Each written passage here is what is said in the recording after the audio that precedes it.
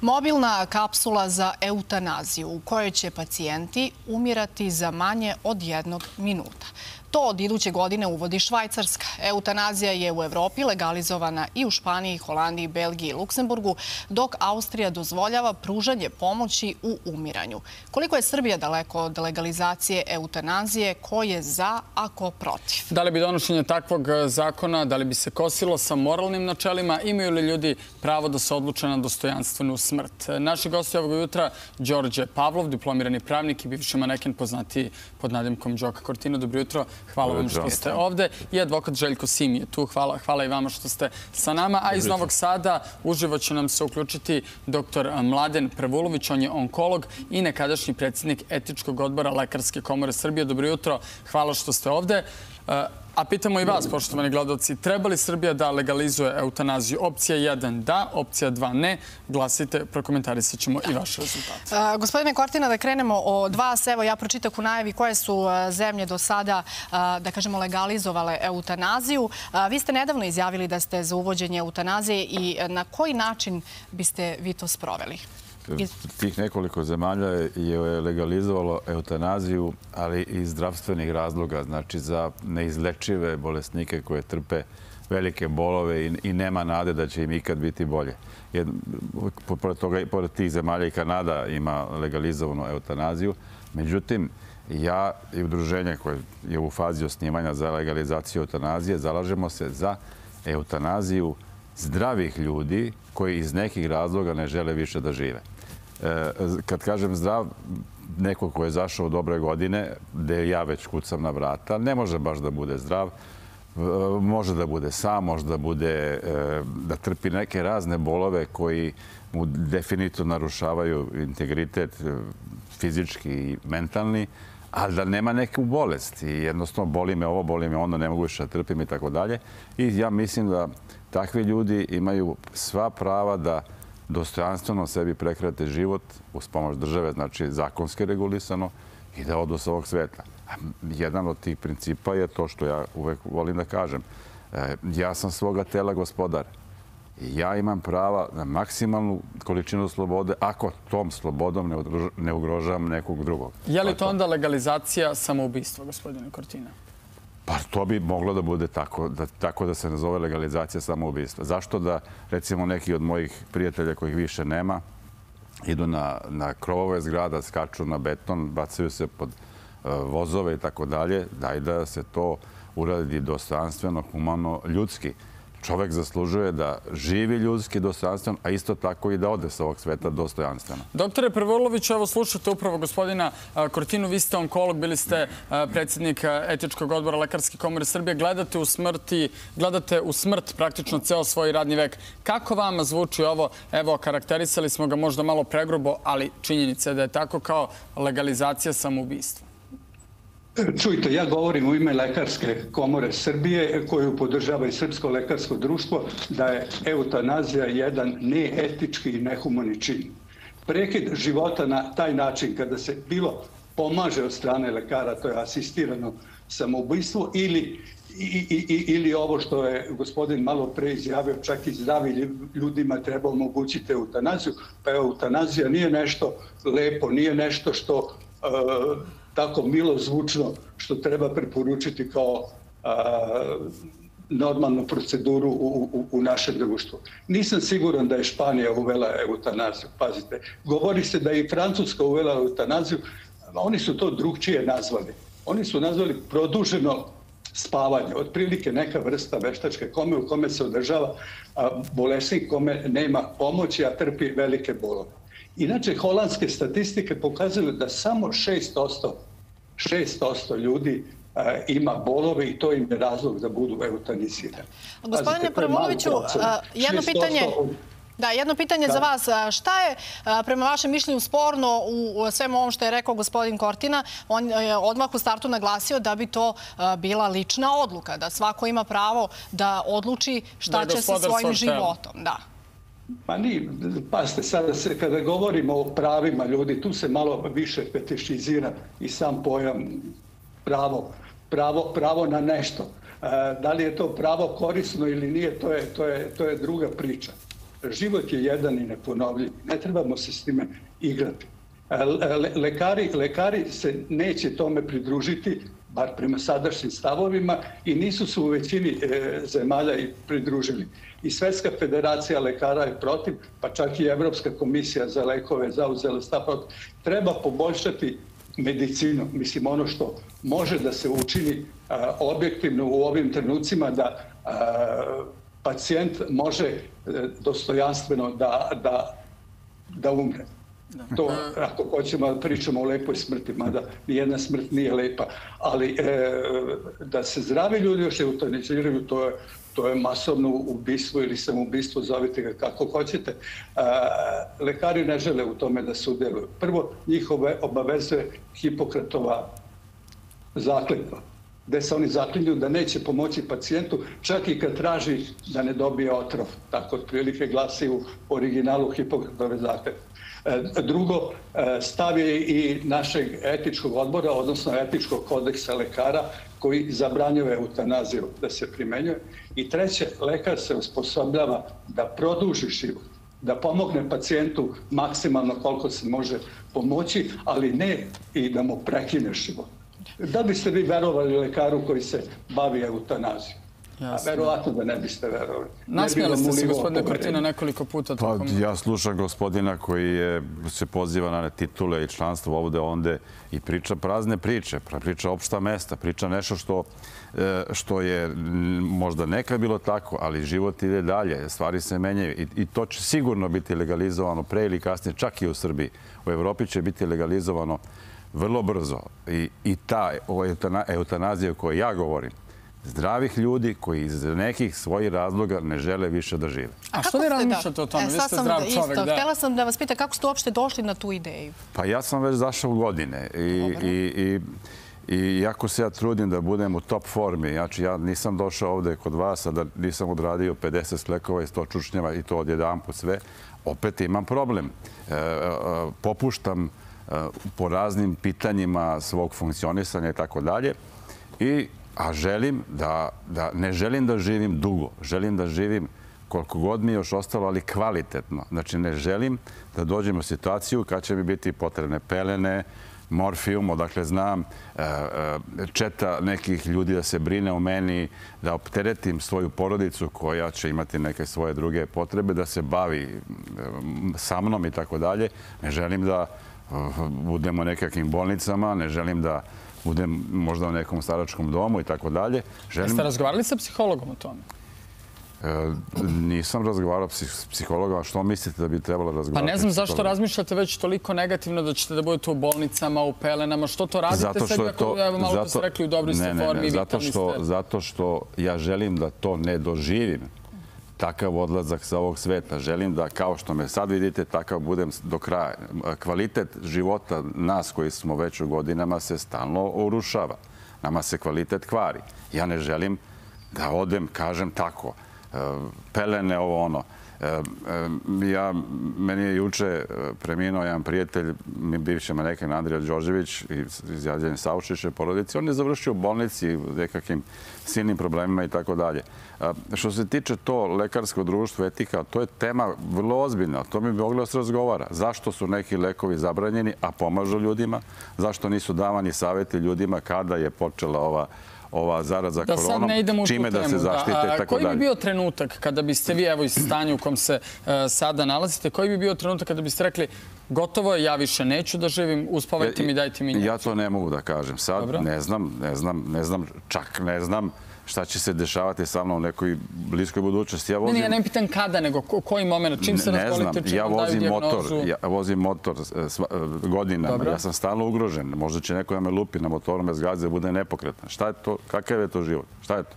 Ja gledam u tačku gore. To, ili bi to onda bio trenutak? Pa, naravno, neki da... trenutak kad sam čovek proceni da je, mu je svega dosta. Ja sam, moja majka umrla u 96. godini. Ona je tri godine pre što će da umre, se žalila da ne želi više da živi sama, nema društva, nema, nema više, ni, ni, boli ovo, boli ono, angina pectoris, iritabilni kolon i tako dalje. I jednostavno ona je želela da ode s ovog sveta dostojanstveno. Nažalost, to je se nije ispunilo loše je to trajalo, ta njena agonija i tako trajala i tako dalje. I ja sam to gledao. Ja to ne želim da mene neko gleda više u, u takvoj jednoj situaciji. Znači, Gospodine ja Prvoloviću, kako komentarišete da, ovo? Da, da, pa ćemo na... na želim, želim gospodinu dug život, bez Hvala. puno muka i, Hvala. Bez, I, ja vama. i, i, i, i da, nema, da nema potrebu da, da bude eutaniziran. Da.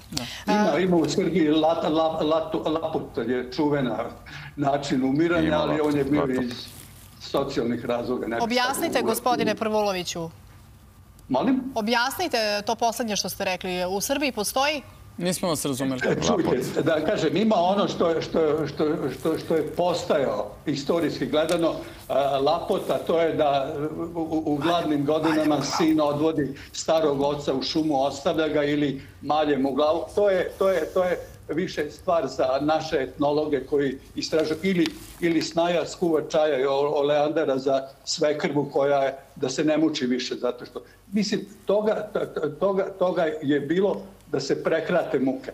Ali to su takvi izuzeci koji žele, žele da umru, pa, pa, pa ste na, nagon ka uh, samoubistvu nije, nije, nije kod nekih ljudi baš mali i Međutim, je li to onda ja pitanje za psihologa, ovo što sam pitao i gospodina Kortinu? Molim? Je li to onda pitanje i za psihologa, apropo mog razgovora sa gospodinom Dobro Kortinom? Rekli. To, to, je, to je pitanje za jedno psiho, psihološko istraživanje. Tako da. da. A, gospodine Simiću, i vi ste tu, ne zamjerite, prosto morali smo malo više da razjasnimo a, sam povod ove teme. U krivičnom zakoniku Srbije izričito je zabranjena aktivna eutanazija. Kada je reč o pasivnoj eutanaziji, čitam da nešto ne pogrešim, i ona je prema članu 117 istog zakona nedozvoljena, ali s druge strane zakon o pravima pacijenata postoji član u kom se dopušta pravo pacijentu da odbije dobije predloženu medicinsku terapiju. Šta pokazuje ova e, kolizija? Da li je reč o kolebanju koji se preliva i na zakoni ili je nešto drugo? Nije reč o kolebanju, reč je o jednoj prikrivenoj dozvoli eutanazije, ali isključivo voljne, jer ima ih više vrsta. Mi se ovde, do sada smo se bavili onako površno, vrsta eutanazije ima mnogo. Dakle, u Srbiji je prisutna voljna i takozvana pasivna eutanazija, što podrazumeva izričitu saglasnost pacijenta u trenutku kada se o tome donosi odluka. Dakle, ne može se kao u drugim sistemima dati nekakva izjava kod javnog beležnika ili pred nadležnim organom, sudom i tako dalje i odrediti u kojim uslovima se neće oživljavati, neće stavljati na aparate i tako dalje. Dakle, samo je pitanje aktualni moment kada pacijent kaže ja želim ili ne želim dalje da se lečim, a pasivna je sa razloga što medicinska struka ne sme doprineti i imati uzročnost sa smrću u smislu davanja bilo kakvih medikamenata ili e, mehaničkih e, dejstava, već samo obustaviti dalje lečenje znajući da to jeste ugrožavajuće stanje za pacijenta. Dakle, on odlučuje da se ne leči dalje, ne daje svoj pristanak i na taj način sebi Dakle, zakonski pomaže. ne postoji mogućnost da banalizovaću sada tražimo neku injekciju? Nema direktne norme ne, ne koja će dozvoliti eutanaziju. Postoji zakon o pravima pacijenata, dok recimo za razliku od njega kodeks profesionalne etike Lekarske komore Srbije izričito je zabranjuje i čak bih rekao etiketira kao jednu negativnu i nemoralnu pojavu, a onda u sledećem pasusu istog tog svog člana kaže da je lekar dužan da obrati pažnju na svesnog, orijentisanog i pacijenta koji može da rasuđuje ukoliko želi sebi da skrati muke. Tako da je nedorečeno u tom delu. Međutim, kodeks nije imperativna norma države Srbije. Dakle, to su zakoni i ustav. Kako vama zvuči ovo što je gospodin Kortina rekao? To što je gospodin Kortina rekao meni nije za temu sada nešto nedostaje u svesti i psihi gospodine Kortine, pa treba sad da ga istražujemo i napravimo na na smanjeno uračunljivog. Ne, to je mhm. nešto što je... Ne radimo to priču, mislim, što ste to zaključili? Da. Pa eto, pravnički, pravnički mozak ume ponekada možda da bude... Evo, ja se izvinjavam svima koji nisu pravnici. Jel? Ali dobro, šta je suština? Da mislimo da je neuročunik, ne bismo ga ni zvali niti. Ne, da naravno, naravno, ali moram ja malo da isprovociram jedan kontraargument. Šta je suština? EU Thanatos, sama reč, kaže dobra smrt. Ja se slažem s gospodinom Kortinom u smislu da svako ima pravo da izabere kako će okončati. E sada, to svako od nas može zato što samoubistvo nije inkriminissano. Vi ste ovde preskočili jako bitne zemlje kao što je recimo Švajcarska, koja je evoluirala u smislu eutanazije, pa ako u njoj postoji eutanazijski turizam gde ljudi, Japanci, Kinezi, Amerikanci, dolaze u Švajcarsku da bi izvršili eutanaziju. Dakle, kako god pogledamo, i u Francuskoj, i u Norveškoj, u Nemačkoj imate recimo šter, samo moment da ne izgovorim pogrešno, šter behilfe, pomoć da se umre. Sve se svodi na to u kojoj će meri neko, neki sistem dozvoliti pojedincu da ima asistenciju prilikom svoje odluke o samoubistvu. Svako se može samo ubiti sam, jel, na razne načine. Lekovima, alkoholom, bacanjem, što reče gospodin Kortina, pod voz i tako dalje. Ali ovo je jedno pitanje zaista koje mora jako temeljno i stručno da se obradi. Pred nacrt građanskog zakonnika Srbije koji se priprema predviđa određene ideje kako i šta. I najviše mi se u tome recimo sviđa što se predviđa da sud donosi odluku na osnovu zahteva porodice i prvenstveno ukoliko je svestan na osnovu zahteva osobe koja želi da izvrši eutanaziju gde će se onda ceniti i medicinski razlozi, naravno, i dokumentacija. Sad, kakav je vaš plan, gospodine Kortina? Vi biste morali da skupite, je li tako, određeni broj potpisa ljudi da bi se predlog zakona našao na vladi, pa onda ako ga vlada usvoji, idu u Skupštinu, je li tako? To je upravo Koliko ljudi treba? Pa ja sad ne znam koliko je, mislim, 10-15 hiljada za predlog zakona, to advokat zna. 30 hiljada. Znači, posao udruženja tog je da skupiti 30.000 potpisa. Ja mislim da ćemo skupiti Kako više. vam ide? Ste počeli? Pa počeli smo polako, ide polako, ljudi zovu, interesuju se. Naravno ima i suprotnih mišljenja, ima mišljenja, ima nekih mišljenja koji kažu sam ja kako što vi kažete, neuračunljiv, lud, kako? Pa gde si ti krenuo? Gde si, kaže, ti krenuo lopatom na bager? Ne, ne, mi smo vas pričali, ja sam vas pitao da li ste razgovarali sa psihologom, ne mislite da ste ludi, jer oni koji idu kod psihologa nisu ludi. Da, da. Ja hoću da kažem da svako od nas ima prava da odluči šta će sa sobom da radi. Nije isto skočiti sa mosta na beton i to uraditi u kapsuli. Da, i jako je važno da to naglasimo zato što mi kroz naš program vrlo često se bavimo tom temom i prevencije samoubistva i zaista ne bih voljela da negde i to ne, bude... Ne, ne, da neko zaključi da promovišemo samoubistvo. Ne, ne, ne. Ja, postoje situacije kada je ljudima samoubistvo olakšanje. Znači, ljudi su bolesni. Kakvo je, kakvo je stanje u medicini srpskoj, ne bi to da pričam, ali ljudi trpe strašne bolove. Ja sam bio očevidac kada je jedan moj blizak prijatelj umirao dve godine. Ne pitajte kako je to izgledalo. Sam to gledao. Strašno. Tako da, to što je rekao gospodin advokat, naravno, mora postoji dobro organizovan država, sud, nemam pojma kakve institucije i tako dalje. Nije to sad pljuni pa zavrni. Znači, to mora se odradi sve. Zato i kažem, zakonski, legalno i ljudski na kraju. Gospodine Prvuloviću, više puta gospodin Kortina tokom ovog razgovora pomenuo da je gledao i svoju majku i svoje prijatelje kako su godinama umirali, mučili se. Možda bi zaista eutanazija u takvim slučajevima, a ako je pacijent saglasan, nekako pomogla. Ako već znamo kakav je ishod, šta mislite o tome? Pa ko se ne muči? Svako ima u svom životu neku fazu muči, da, da, da, da pati od nečega ili zbog nečega.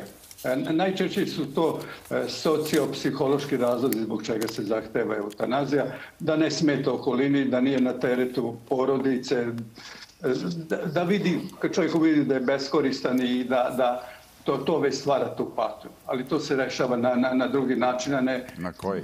asistiranim samoubistvom. Evo na Mogu koji, da pita vas gospodin Kortina. Pa... Na koji način se to rešava, sa što ste nabrali? Pa čujte, imate na, na sve strane ambulante za a, lečenje bola. Ima stručnjaka koji se čak specializiraju kako da otklone bol. Nije, nije, medicina nije svemoćna, ali nije ni nemoćna. Mi moramo očekivati da a, u budućnosti da će biti takvi lekova koji mogu otkloniti ono, paste, ono što je duševno, ljudska patnja, to već teško može medicina da, da, da, da, da, da, da reši. Ali ja bih samo završio sa jednom rečenicom, mislim da je to Sofokle iz Antigone, kaže tragedija počinje onda kad ljudski zakoni potisnu Bože. Na time bi se završilo. Dobro, ajde da vidimo kako su glasali gledoci. Dakle, pitali smo vas da li ste za legalizaciju eutanazije, da vidimo kako razmišlja javno mnjenje. 72% kaže da, 74% da, da, 26% ne. Evo gospodin Prvulović da prokomentariše. uh, Prvo vi da To je prokomentariše. očekivano. Paste, ljudi shvataju eutanaziju kao nešto moderno, nešto što donosi sreću. Što je jako lepo.